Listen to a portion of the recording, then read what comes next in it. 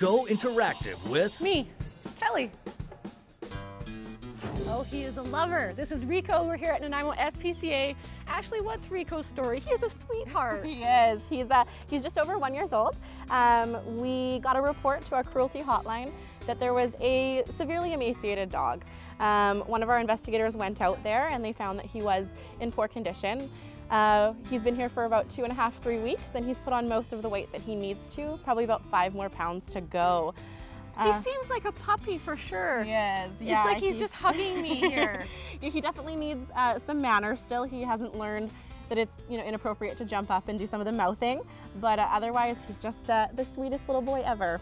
is there any home that he wouldn't be suited for or? Um, just a home maybe with uh, small children uh, at first because he does need to learn those basic manners so he might knock them over. Uh, otherwise, somebody that's willing to put in the obedience training and, and love and care for him would be awesome.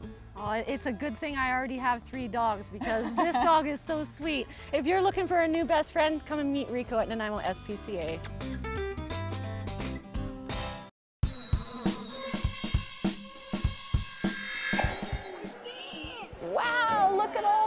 Seeds. That's a very juicy tomato, isn't it? Should we put it in with the potatoes and we can put it in our soup? Stone soup is just one of our daily activities that we do at Ladysmith Family and Friends. Parents, caregivers, and children are able to bring a potato or a carrot or some onions and give what they can, but then also by working collaboratively all together that we're able to make a big pot of soup and then we can all share it.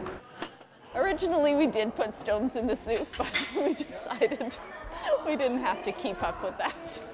There's an old story that you can read about stone soup, and it's the idea of someone in the community going from um, business to household to farm, and everyone would contribute what they could. And that's really how we work as an organization is really building on the strengths of everyone in the community. Do you want to use your knife?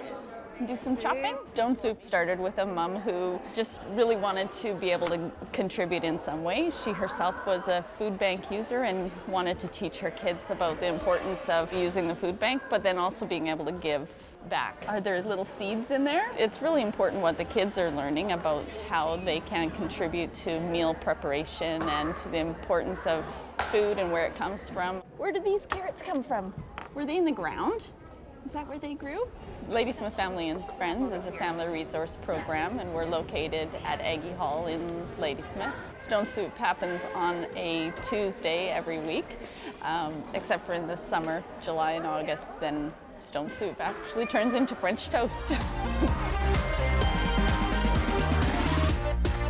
We're checking out from rationing to ravishing, and some of these hats are very, very cool. I love hats. I think I look good in hats, but I never wear hats on a daily basis. Look at this one. It's got like a bird in two birds entwined. This one looks like um, like a leaf. I would feel like I was one of those petal fairies. And then there's this cigarette holder. Oh, that's just so so glamorous. And none of this is even remotely appropriate to paddleboarding. I recently had an experience on a paddleboard.